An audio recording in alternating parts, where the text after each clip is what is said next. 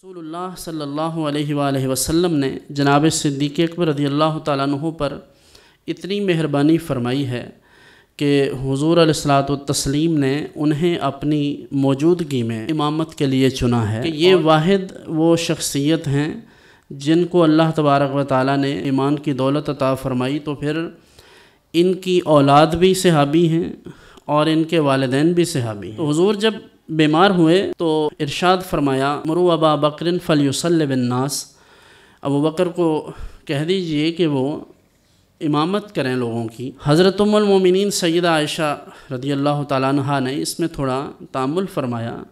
उनका ये ख्याल था कि हुजूर अगर किसी और को ये हुक्म फरमा दें तो मुनासिब होगा।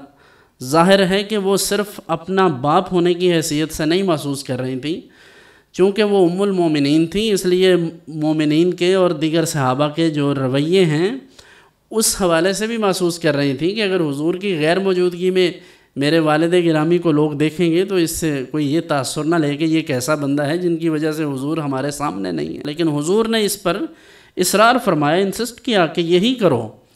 यहाँ तक इरशाद फरमाया कि ना तो अल्लाह रब्ज़त ये चाहता है कि मेरी मुसल्ले पर कोई और खड़ा हो और ना ही मोमिन इस बात को पसंद फरमाएँगे लेकिन यहाँ एक बड़ी काबिल गौर बात है जो उलमा के लिए, तलबा के लिए, पीरान एज़ाम के लिए कि देखिए हजूर की नवाजशात और मेहरबानियाँ उन पर बहुत ज़्यादा हैं। लेकिन इस सब के बावजूद जनाब सिद्दीक़ अकबर रदी अल्लाह तु ने कभी अपनी हैसियत को नहीं छोड़ा। देखिए कि वो रिश्ते में हुजूर के ससुर हैं।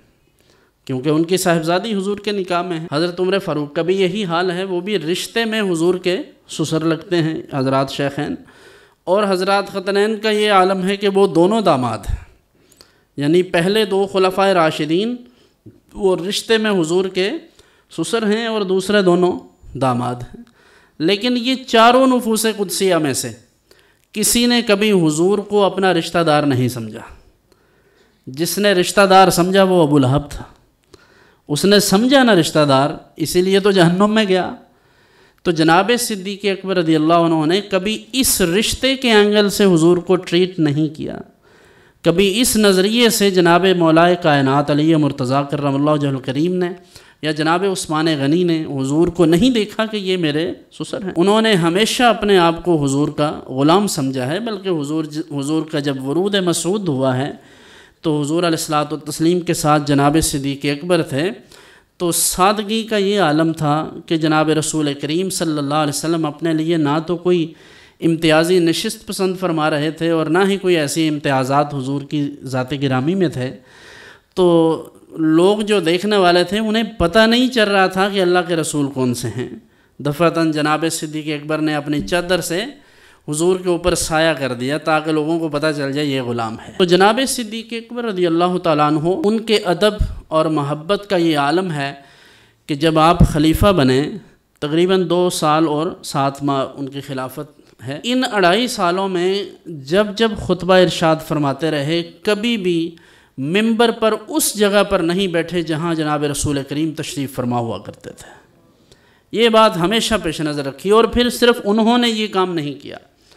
बाद वाले तमाम खलफा राशिदीन भी यही करते रहे। जहाँ पहले खलीफा राशिद बैठते थे, वहाँ बाद वाले खलीफा राशिद नहीं बैठा करते थे। अदब पहला करीना है महब्बत के करीनों में। ये बड़ी अहम बात है। इतनी किताबों की आप पूरी गठड़ी बाँध लें, गाड़ियाँ भर लें, घर अपना किताबों से भर लें, लेकिन अदब नहीं है तो ये काम नहीं आएँगे।